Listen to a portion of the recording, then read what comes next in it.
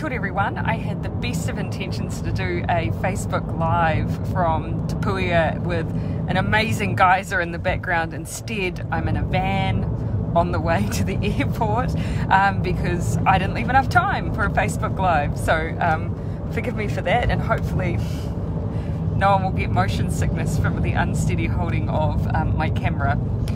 Um, but look, I'm here in uh, Rotorua for uh, a visit and a chance to talk with um, local council here, tourism operators, those who work in accommodation, hospitality, adventure tourism, just about uh, the impact of COVID here and uh, what we can do together uh, to work alongside those those most affected.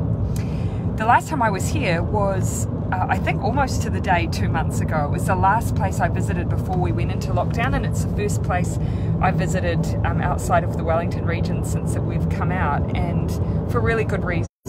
Uh, obviously, there's a number of hotspots, amazing places to visit around Aotearoa, New Zealand, um, that are really uh, a centre for tourism, but Rotorua really clearly is one of those places. And so, a great place for me to come and hear again how things have been going here. Uh, one of the things that's come through really strongly is just how important the wage subsidy has been um, to the sector. Um, but of course, an acknowledgement that uh, with that running through till um, uh, August, uh, the work that the industry is doing uh, together um, to think about how do they um, pivot towards the domestic tourism market. Now, um, interestingly, a few facts for you here 60% of our uh, tourism uh, industry actually is uh, supported by domestic tourism. So those New Zealanders going out and experiencing their own backyard. But interestingly, New Zealanders also spend about $9 billion on international travel. So the question for me is how do we encourage Kiwis to make sure that they go out and they have that experience and when they go and visit somewhere they don't just stay with family and friends, but they get out and about and visit some of the amazing places and offering um, tourism offerings that we have. So our operators are thinking about that too, and so we're going to keep working with them on how we can continue to promote that domestically.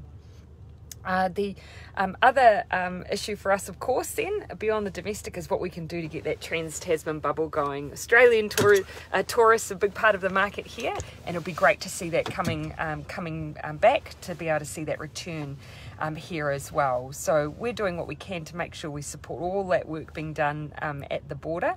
I'm going to walk with you. We've got to go inside and get ready for our plane make sure that we get all that work done at the border. So when we're in a position here in New Zealand and uh, when Australia uh, is in a position to safely reopen borders, that we can do that.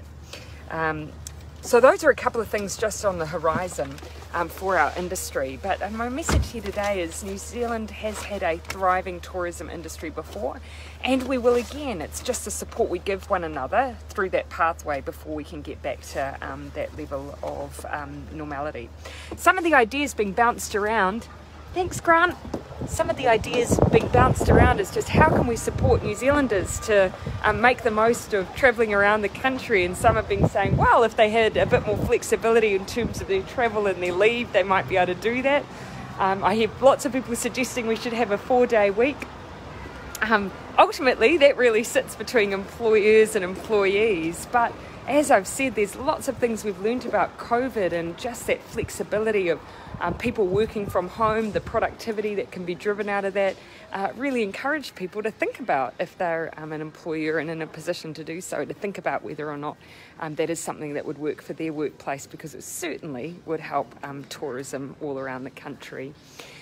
So, um, we've also uh, in the budget announced a $400 million um, package, uh, which is all about supporting um, along us, the government and tourism working together uh, to make sure um, that if we have, for instance, really significant ventures uh, that might need to go into hibernation for a while, that we're able to support that happening um, but that we also develop a plan together between government and the tourism industry uh, as, as we work through the next period of time because things will be a bit different for us. Um, but of course, that's just one part of our, our longer term um, plan together. Uh, I heard from the industry that things are looking quite good uh, bookings wise for Queen's birthday, so that's a shining light this weekend. A lot of people coming down from the Waikato to be here in Rotorua. So if you live local, if you um, are in driving distance and feel like uh, no limit, if you want to fly as well, you can do so. That's where I'm at the airport right now. Um, do just think about exploring your backyard. I keep thinking about that letter I got from Judith.